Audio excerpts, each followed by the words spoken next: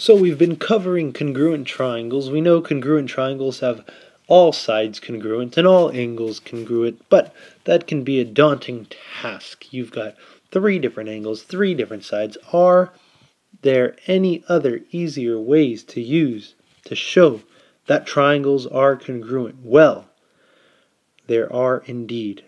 Now accompany on my journey as we discover the congruent triangles theorems. First stop, we've got the side, side, side congruence theorem. Notice these triangles down here have this side, this side, and this side congruent to this side, this side, and this side. Whenever you have this case where all three sides are congruent with all three other sides, then you know that these triangles are indeed congruent. Do do. Next up, we've got our side angle side congruence theorem. Notice here we've got side right next to an angle, right next to another side that's congruent with this side, this angle, and this side. When this is the case, when you have side angle side congruence, then again, we know these two triangles are congruent. Let's continue on. Here we've got our angle side angle congruence theorem. This, you may guess, is when we have an angle, a side, and an angle congruent to an angle, side, and an angle. Whenever this happens, you got it. These two triangles are congruent. Moving forward, we come upon the angle, angle side congruence theorem.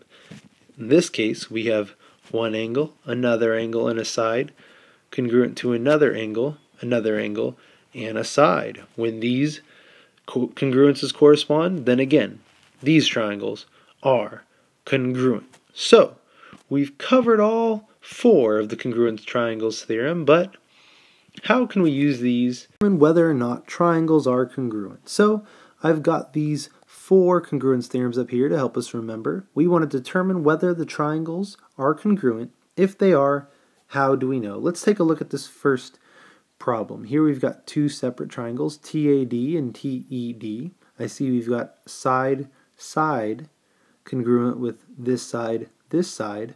Now, I do notice that this third side is shared, so it obviously has to be congruent with itself.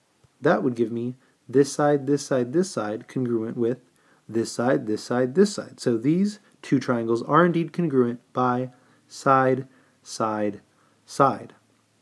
Next up, let's move over to these two triangles here. First off, I see this side AC congruent with this side EC, this side DC congruent with this side BC. Now that's two pieces of the puzzle. Is there anything else you notice about these two triangles? Well, I see vertical angles here. I know that vertical angles are congruent. I'm going to draw that in. That gives me this side, this angle, and this side congruent with this side, this angle, and this side. That gives me triangle congruence by side, angle, side. Let's move down here. Here again, it looks like we've got vertical angles. I'll go ahead and mark those congruent.